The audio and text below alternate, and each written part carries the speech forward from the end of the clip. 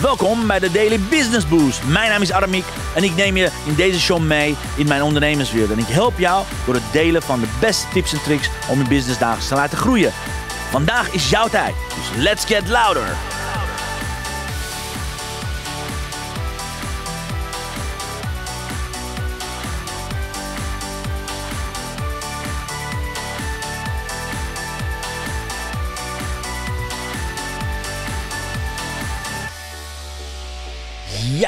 Een hele goede morgen. Wat een goede morgen. Mocht je vanavond kijken, een hele goede avond. Vergeet ik nog steeds iedere keer te zeggen. Hey dames en heren, fantastisch dat je er bent. Wat een mooie dag om de week mee te beginnen. De, echt, de eerste eigenlijk week van september. Vorige week was het een beetje half om half, maar vandaag is het begonnen, dames heren. welkom in september. Dit wordt de eerste september werkweek. En ik hoop dat je er zin in hebt. En fijn dat je kijkt. Super dat je er bent ook. Want ja, alle fantastische podcastluisteraars en kijkers. Dank, dank, dank. Waar wij, waar wij tot vorige week op 28.000 eh, downloads zaten, zitten we nu al ruim boven 21 31.551 downloads. Ongelooflijk. We zijn over de 30.000 gegaan. We zijn over de uh, 31.000 gegaan. En nu zitten we op echt 31.515. Unbelievable. Dus dank, dank, dank iedereen dat dit mede mogelijk maakt. Ook Marianne, goedemorgen. Fantastisch dat je er bent. Ook jij bedankt voor het volgen en downloaden van de podcast. Ik vind het fantastisch om hier bij jullie te zijn. Wat een mooie dag om de week te gaan beginnen. Yes, vandaag ga ik het hebben. En deze hele week hebben we een nieuw thema. Dat heet I Love LinkedIn. Ik ga deze week jou laten zien en laten voelen. En met heel veel strategieën en redenen om jou verliefd te maken op LinkedIn. Want de meeste ondernemers zijn nog niet verliefd op LinkedIn. De meeste ondernemers zijn nog te veel aan het, aan het, eh, aan het eh, treuzelen. Ze zijn uh, niet actief of hetgene wat ze doen zijn niet op de juiste manier. Zijn nog, ze weten nog niet hoe. Nou, deze week ga ik je laten leren hoe je nou LinkedIn voor je business kan opzetten. Want dat is ontzettend belangrijk. En mocht je mijn training daarvoor willen meemaken. Dus gratis training aanstaande donderdag om 11 uur. Je moet je wel voor aanmelden. Over Back to Business. 27 toptips om meer klanten uit LinkedIn te halen. Check aramiekonline.com. Schrijf je in. Want daarin ga ik je twee uur lang meenemen met 27 tips die ik heb. Alright? Dus schrijf in via aramiekonline.com en uh, zorg ervoor dat je erbij bent aanstaande donderdag. Yes, bonus dias, mijn lieve Chantal. Hier met alle downloads. Zegt ze geweldig, geweldig, geweldig. Dank, dank, dank. Dus wat, wat wil ik deze week aan jou laten weten? Het thema is I love LinkedIn. Ik wil je meenemen in mijn LinkedIn journey. Ik wil je meenemen waarom ik LinkedIn fantastisch vind.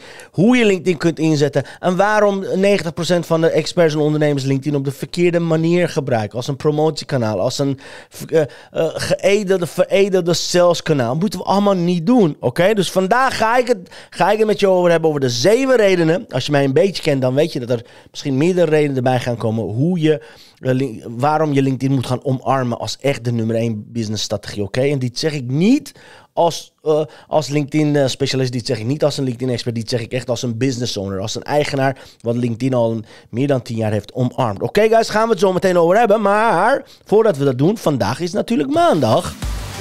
En ja, maandag is een mooie dag. Jouw commitment van de week.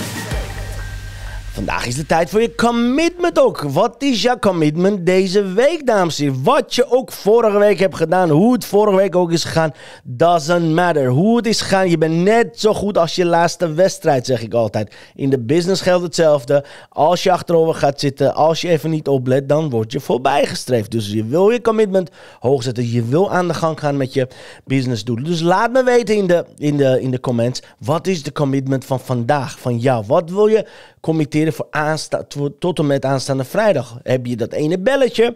Ga je die ene blog publiceren? Is het, is het een WhatsApp die je moet gaan sturen? Is het een onderhandeling wat je moet gaan doen? Is het een grafisch iets wat je moet gaan doen? Ga je met nieuwe producten beginnen? Whatever it is, laat me onder de chatberichten weten, want ik kan je ermee helpen. Want aanstaande vrijdag ga ik natuurlijk de wedervraag stellen, hoe is het gegaan? En op die manier kunnen we elkaar een beetje account accountable houden, want dat is mijn bedoeling. Dat is de bedoeling van de hele Daily Business Boost. Ik ben iedere ochtend om 10 uur hier voor jou, om jou te helpen met de groei van je business. Om je te inspireren, om je portie passie een kick in de ass te gaan geven. Nou, dat kan ik alleen maar doen als je met me mee gaat werken en gaat laten zien, oké, wat is jouw commitment? Op welke manier ben je gecommitteerd om het te gaan knallen? Laat ik meteen mijn commitment gaan vertellen. Want ik heb dit, uh, dit weekend heel veel nadenken, nadenktijd gehad. Is uh, een, van de, een van de dingen die ik ga doen. Er komt een nieuwe LinkedIn Academy komt eraan. Met een stuk of acht modules met heel veel video's die ik opnieuw ga voor jou op gaan nemen. Dat is één. Er komt een nieuwe membership aan. Dat gaan we ook doen. En ik ga even mijn telefoon erbij pakken. Want gisteren, even kijken, heb ik hem voor me opgeschreven. Wat ging ik nou ook alweer doen? Ik ging hier, kijk maar. Yes, ik ga een speciale dag organiseren voor alle mensen die de thuisstudiecursus hebben gekocht afgelopen zeven weken. Zeg maar in de zomer, dat gaan we doen. En uh, we gaan ook een, uh, maar dit is voor, voor mensen die in mijn community zitten, we gaan ook een affiliate strategie gebruiken. Dus diegene die, uh, die in de community zitten, Marianne, Rianneke, Helen, al die Maaike, iedereen die in de community zit, guys, er komt zometeen een affiliate campagne aan. Ik wil jullie meenemen. Ik wil samen met jou aan de slag gaan als business partners. Dus er zijn een heleboel dingen van plan. Dat ga ik deze week allemaal op, op uh, gaan we organiseren. Marianne zegt twee connectiegesprekken, één blog, een begin nieuw e-book. Fantastisch, geweldig. En Demi zegt, wat leuk, ik ben geïnteresseerd in membership, Aramiek. Absoluut, absoluut. Deze week komen een aantal dingen, uh, tot, komen een aantal projecten tot, tot, tot, uh, zeg maar tot excellentie. Gaan ze allemaal afmaken en gaan we communiceren. Membership komt eraan, affiliate uh, gedeelte komt eraan. Dus er komt een nieuwe, leuke, gave dag voor de, alle mensen die de cursus gekocht hebben. Speciale mm, training voor ze. En nee, natuurlijk, aanstaande donderdag ga ik mijn allerbeste LinkedIn training ooit geven. Ben je, heb je nog niet ingeschreven? Zorg ervoor dat je in gaat schrijven via www.aramiekonline.com. Er zijn al meer dan, wat is het, de honderden ondernemers die zich hebben ingeschreven. Zorg ervoor dat je erbij bent. Zorg ervoor dat je erbij bent. Demi zegt, ik ben heel erg benieuwd. Fantastisch Demi dat je er weer bij bent. Ik hou van mijn vaste fans jongens. Fantastisch, fantastisch. Anyways, uh, guys, laat me weten als je er bent uh, op een schaal van 0 tot en met 10. Hoe verliefd ben jij op LinkedIn? Hey, dat rijmt. Op een schaal van 1 tot en met 10. Hoe verliefd ben jij op LinkedIn? Dat, dat klinkt weer echt uh, goed, John Marco Borsato, tegeltjeswijsheid. Dus laat me weten, hoe verliefd ben je op LinkedIn? Met andere woorden, 10 betekent ontzettend verliefd. Je kan niet zonder LinkedIn. En 0 betekent, ja, wat is LinkedIn saai. Anyways. Want zo begon het bij mij ook, vier jaar geleden toen ik het uh, serieus ging nemen in 2017. Ik vond het van alles nog wat, vooral saai en zakelijk en vooral een heleboel, heleboel gepraat en een heleboel grijze muizen. Nou, inmiddels weet ik veel beter. Marianne zegt duizend. Yes, zie ze ontzettend verliefd op LinkedIn. Nou, voor die mensen die, uh, die nog niet zijn waar Marianne is, heb ik zo meteen zeven redenen voor jou waarom je LinkedIn moet gaan omarmen. Waarom LinkedIn in je strategie moet gaan gebruiken, dames. Oké, dus ga rustig achterover zitten. Hier komen de redenen. Reden nummer 1. Heel feitelijk, voor mensen die graag op cijfers zitten. LinkedIn heeft wereldwijd al meer dan 720 miljoen gebruikers. Dus over de hele wereld 720 miljoen gebruikers. Waarvan wij als Nederland in top 3 van de meest engaged, meest betrokken landen op LinkedIn zitten. Wij zitten echt in top 3. Nederland is ontzettend actief op LinkedIn. Nu komt het waarvan wij in Nederland 8,2 8,2 miljoen gebruikers hebben. Sandra zegt, ja, ik ben er donderdag ook bij. Yes, Sandra, fantastisch. Chantal zegt, ik ben een 8. Mooi, mooi, mooi. Dus wat ik zei, van 720 miljoen gebruikers zijn er 8,2 gebruikers. Dus betekent 8,2 uh, profielen in het Nederlands. En tweede is heel belangrijk. wat er tot twee jaar geleden was, dat van die 8 miljoen ongeveer 4 miljoen 4 miljoen actief waren dagelijks op LinkedIn, zijn inmiddels 7,5 miljoen Nederlanders zijn dagelijks meer dan een uur actief op LinkedIn. 7,5 miljoen Nederlanders betekent ongeveer het werkbevolking van Nederland, zeg maar. Als we de kinderen, ouderen ervan afhalen, is ongeveer hele, van, van de hele werkbevolking zit er 90% dus op LinkedIn. Dan is de vraag, hoe is jouw positionering dan?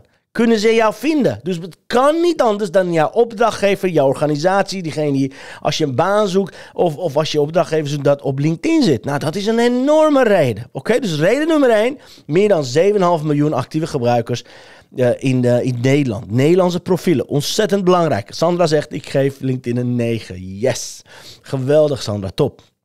Dus reden nummer 1, 7,5 miljoen actieve uh, profielen. Reden nummer 2, LinkedIn is de grootste zakelijke zoekmachine online. Het is de grootste online zakelijke online zoekmachine. Dus als jij zeg maar, je oude conciërge uh, wil vinden, kan je op LinkedIn vinden. Als je directeur van Coca-Cola wil vinden, met naam en achternaam, kun je gewoon op LinkedIn vinden. Dus iedere beroep, iedere beroepsvolking, iedere HR-manager, iedere ziekenhuisdirecteur, iedere, I don't know, welke laag van welke organisatie dan ook, die heeft ongetwijfeld een LinkedIn-profiel ontzettend belangrijk. Dus je, met andere woorden, je kunt heel goed en gericht gaan targeten. Je kunt zelfs het netwerk van het netwerk gaan beïnvloeden. Als jij directeur van Coca-Cola wil beïnvloeden, je weet exact met wie hij bevriend geconnect, geconnect is. Je kunt heel veel dingen rondom hem, kom ik met, zometeen met andere reden, kun je gewoon gaan bekijken hoe kan ik dichtbij zo'n directeur komen. Ontzettend makkelijk. Daarom is het de grootste zakelijke zoekmachine. Reden nummer drie ja, ik zal je wat vertellen. Al die mensen die, die, hun, uh, die hun mond vol hebben van SEO, Search Engine Optimization, SEA, Search Engine, whatever. Al dingen en Google Ads en advertenties en zo. Vergis je niet. Hoeft allemaal niet. Want stel je voor dat jij je voornaam en achternaam in Google gaat typen. Ja, dan heb je niks anders dan je LinkedIn-profiel nodig. Dan kom je al op top 3. Pagina 1, top 3 is altijd je LinkedIn-profiel. Dus als jij mijn naam gaat typen, Aramik Garabidian, is top 3. Eén van de drie is gewoon mijn LinkedIn-profiel. Ik zweer het je. Ik ga even kijken of ik dat. Uh, even kijken. Ik ga, ik ga dat proef op de som nemen, gewoon as we speak. Even kijken of ik het goed heb. Nou, kijk maar. Ik ga even mijn, uh, mijn uh, hoe heet dat met je delen? Mijn, nou, zeg nou, mijn scherm met je delen. Moet je kijken wat er gebeurt. Ik heb net getypt uh, Garabidian op Google. Kijk, dit is wat ik net getypt heb, helemaal bovenaan. Dat zie je hopelijk. Staat hier Aramik Garabidian. Ik heb net getikt. En wat denk je, wat komt als bovenaan, boven mijn eigen website. Boven, uh, uh, als je kennelijk komt, de podcast met Mirjam Hegger komt al als de vierde omhoog. podcast met Alex komt omhoog. Mirjam Hegger aantalje. Twitter komt omhoog. Al dingen. Maar wat staat er nou bovenaan? Aramik Arabidian, oprichter en bedenker van LinkedIn. Dit maakt het dus zo bijzonder. Dan hoef ik niet op mijn naam en achternaam allerlei SEO, allerlei dingen te hebben. Hier komt hij al op tip. Uh, op top nummer 3 en top 1 komt hij al binnen. Dit is ontzettend sterk. Ik hoop dat je begrijpt wat, dit, wat ik hiermee bedoel. Dit betekent dus dat je helemaal geen Google Ads moet hebben. Dit betekent dat je helemaal niet moeilijke advertenties moet gaan doen. Je komt hoe dan ook via LinkedIn op nummer 1 of nummer 2 of nummer 3 pagina 1 als mensen jouw naam en achternaam gaan invullen. Dus dat betekent dat jouw LinkedIn profiel dus ontzettend belangrijk is als mensen op zoek gaan naar jou, oké? Dus dat is reden nummer 3. Reden nummer 4, en dat is een van mijn favoriete redenen, is mensen op LinkedIn zijn serieus. Ik bedoel, je hebt niet van die nep-profielen. Ah, misschien af en toe meer. Je hebt niet van die, van, die, van die hobbymatige mensen. Op LinkedIn zijn de meeste mensen, meeste, again, again. Je hebt nog steeds van, die spel, van dat speelgoedmateriaal van die hobbyachtige mensen. Maar op LinkedIn heb je de meeste mensen zijn dus heel serieus met hun zaak bezig. Oké, ik heb gisteren... Even kijken hoor of ik hem naar voren kan halen. Ik had gisteren een... Ehm, een poll gedaan op LinkedIn. Dat was heel grappig, want polls werken tegenwoordig op LinkedIn ontzettend goed. Ik zal je laten zien. Uh, ik zal je die poll laten zien hoe dat, hoe dat gaat. Maar ik heb een poll gemaakt. En aanstaande donderdag laat ik je zien hoe je echt effectief een poll kan maken. Namelijk een enquête. Kijk maar. Ik heb gisteren gevraagd onderzoek. Ik ben met een LinkedIn-blog bezig en heb jouw hulp nodig. Ik hoop dat je dat zien. Anders ga ik hem iets meer inzoomen. Even kijken. Ja, dat heb ik een dag geleden gevraagd. Dus onderzoek. Ik ben met een LinkedIn-blog bezig en heb jouw hulp nodig. Wat is jouw nummer één reden om op LinkedIn actief te zijn? Oké, dat heb ik gevraagd. Betekent 56% van mensen is actief om vergroten van het netwerk. 27% is vinden van nieuwe klanten. 6% is om uh, nieuwe baan te vinden. En dan zie je hier allerlei reacties eronder. Bijvoorbeeld Janneke zegt 1 en 2. Karin zegt vergroten van netwerk, waardoor ik bewuste en ondernemende mensen in contact kom, waarmee ik mijn missie kan neerzetten. Maaike zegt een combinatie van vergroten netwerk, nieuwe klanten. Stefan zegt vergroten van mijn netwerk, verbinden met gelijkgestemden. Linda zegt onderhouden van mijn netwerk, in contact blijven met mensen die ik niet zo snel zou bellen. Daarnaast vind ik, vind ik uh, Voeding op LinkedIn in vorm van interessante artikelen en andere zienswijzen. Sven zegt direct diplomatic relations, press relations.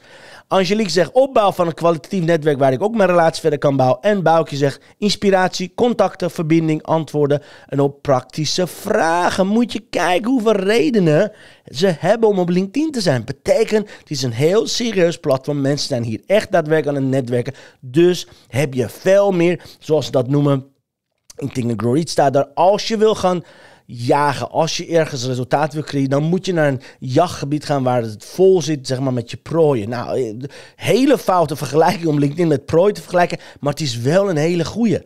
Op LinkedIn zitten dus serieuze mensen die op zoek zijn naar een baan of een inspiratie of connectie of contacten of om uh, nieuwe klanten te krijgen of opdrachtgevers te vinden. You know, daar is LinkedIn ontzettend sterk. Dus reden nummer vier, heel serieus netwerk, dus zijn mensen veel uh, veel meer in staat om te gaan netwerken. Reden nummer vijf, nu komt het.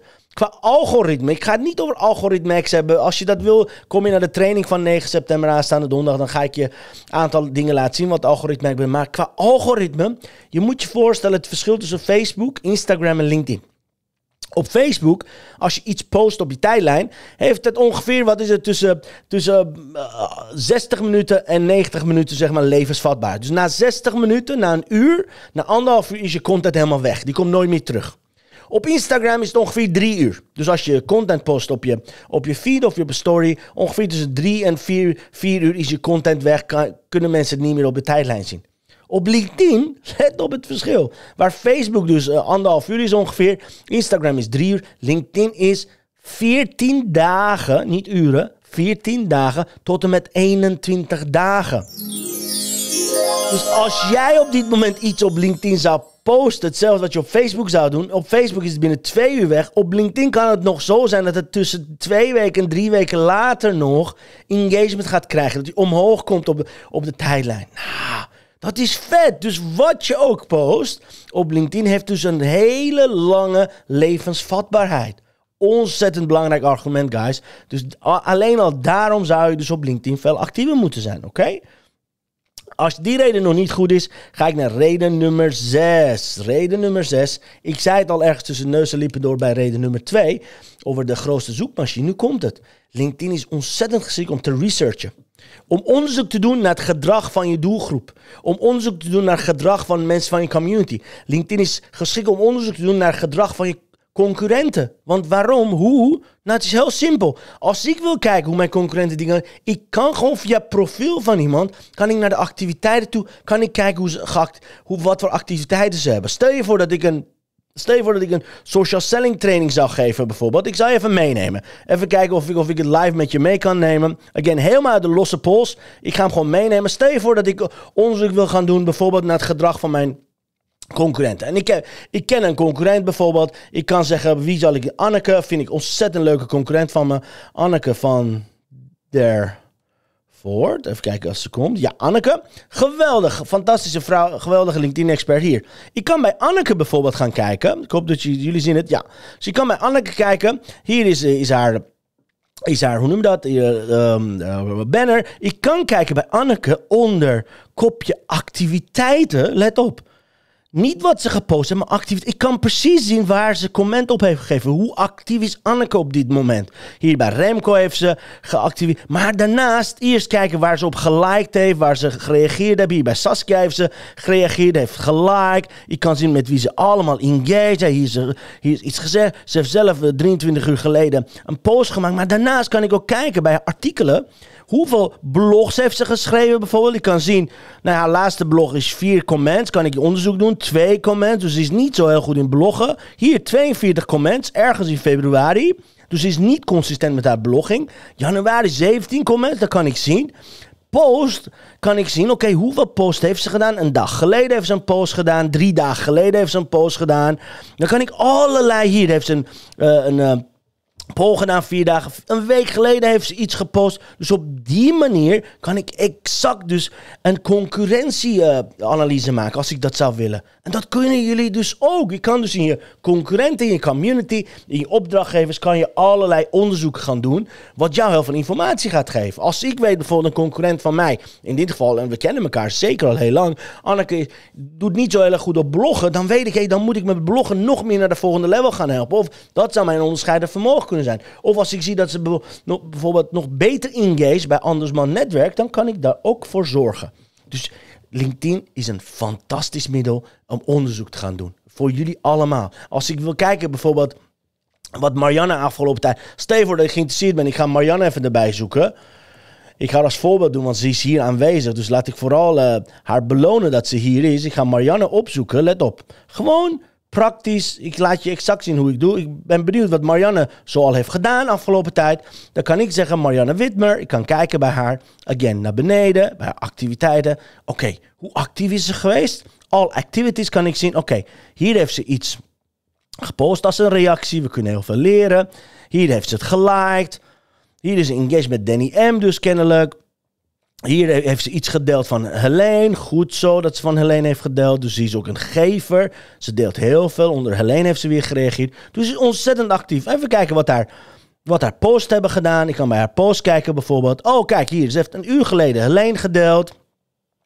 Uur geleden ook haar eigen ochtendpost gedaan. Hoeveel reacties heeft ze daar? Niet zo heel veel. Een dag geleden had ze wel 16 reacties. Ik kan kijken wie er op haar gereageerd hebben. Wie hebben allemaal met haar engaged. Heeft ze het terug geengaged? Ja. Twee dagen geleden heeft ze een ochtendpost gedaan. Hier bij Maxime heeft ze gereageerd. Dus op deze manier kan ik dus ook goed kijken wat mijn netwerk aan het doen is. Ik hoop dat ze nu online is. Kan ik haar eventueel zelfs feedback geven, oké?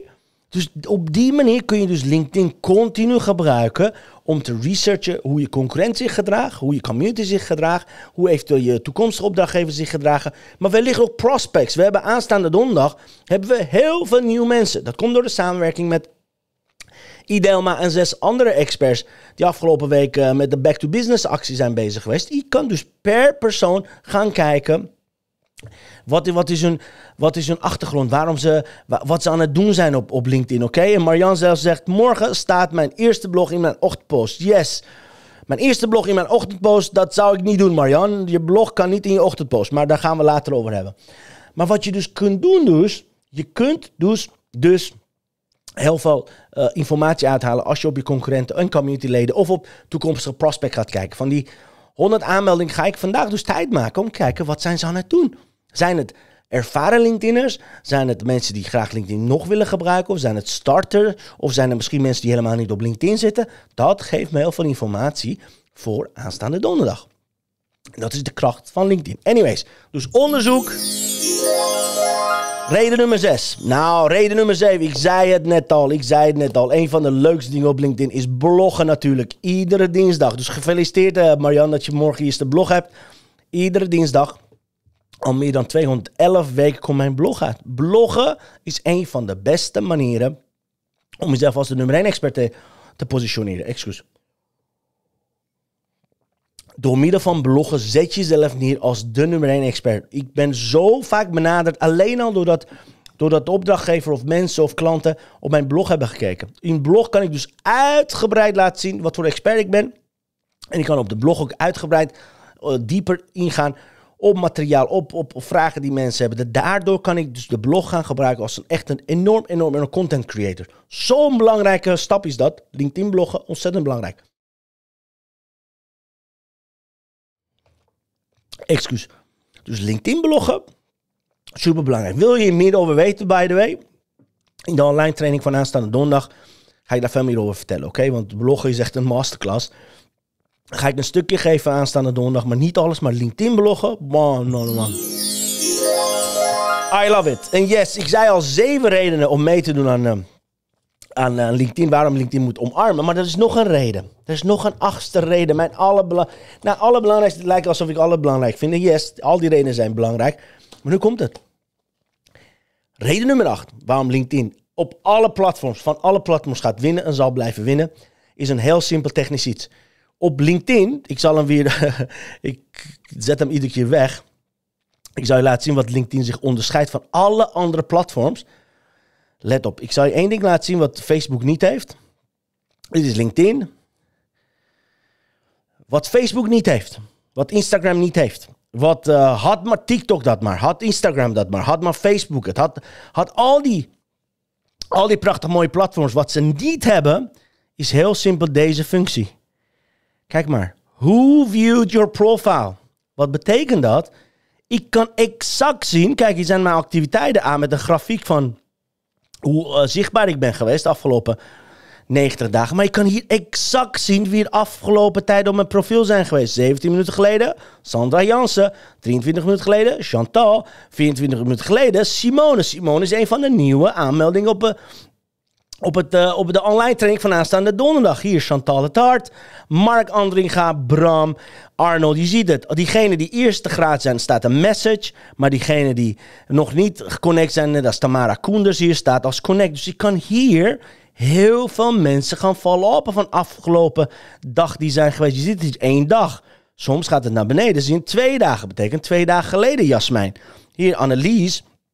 Een dag geleden. Dus je kan hier een hele mooie, prachtige, mooie follow-up neerzetten. Geen enkel platform geeft dit. En geen enkel platform heeft deze functie, dames en heren. Zo ontzettend belangrijke functie. Geen enkel platform biedt dit. Dat is zo belangrijk als je het begrijpt waarom ik gek ben op LinkedIn. Omdat je dus je eigen profielbezoekers kunt gaan follow-uppen. Je eigen profielbezoekers follow-up betekent je hebt een nieuwe lead generator. Je wil niet weten hoeveel leads klant zijn geworden. Je wil niet weten hoeveel profielbezoekers van mij als opdrachtgever zijn uitgekomen. Alleen al omdat ik ze dagelijks heb gevallen van... Hey, leuk Marjan dat je op mijn profiel bent geweest. Waarmee kan ik je helpen? Ik ben zelfs een keer of twintig hebben we een televisieopname gemaakt met Erik, Erik Broekhuizen. Omdat hij tien minuten geleden op mijn profiel was geweest. Ik heb hem binnen 20 minuten heb ik hem gevallen van Erik, wat leuk dat je er kwam.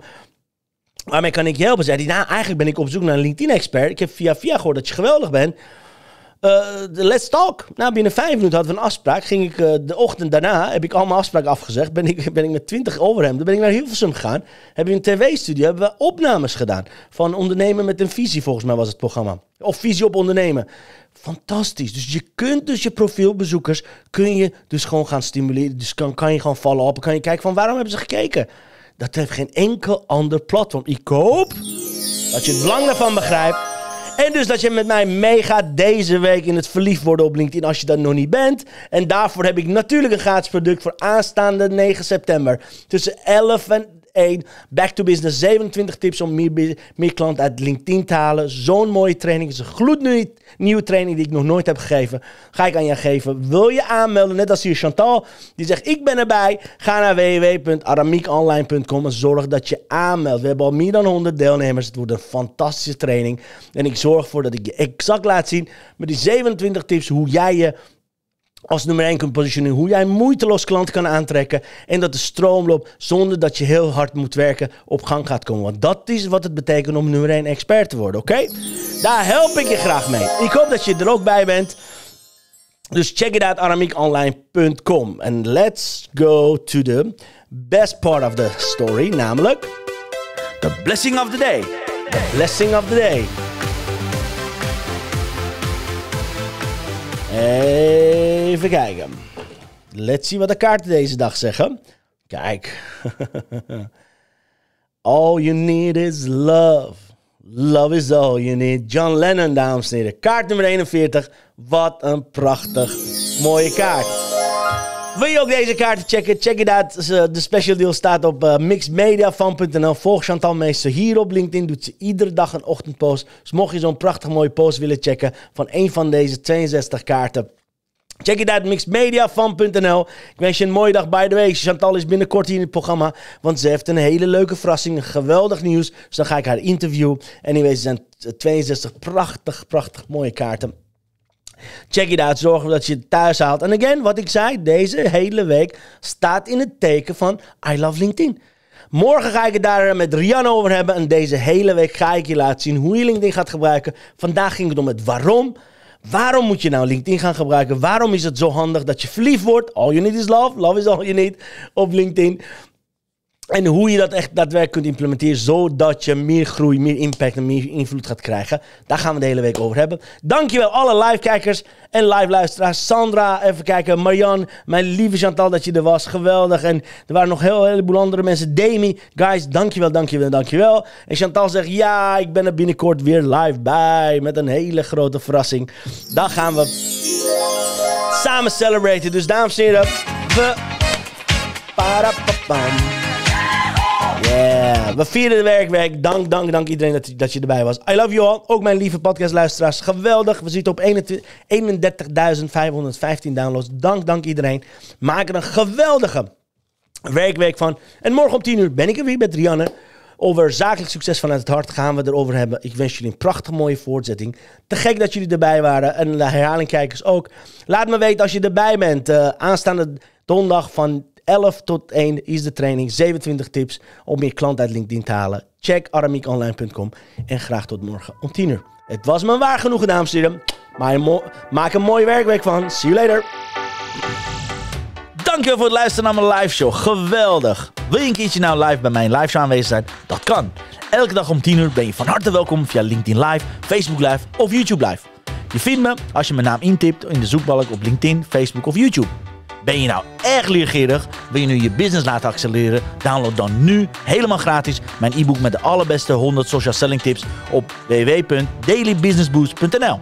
Zoals ik altijd zeg, wij zijn ondernemers. Wij zijn de kracht van de economie. Maak het verschil, iedere dag, iedere uur. En tot de volgende keer. Ja, hasta luego dames en heren. Morgen 10 uur zijn we er weer. See you later. Dag allemaal.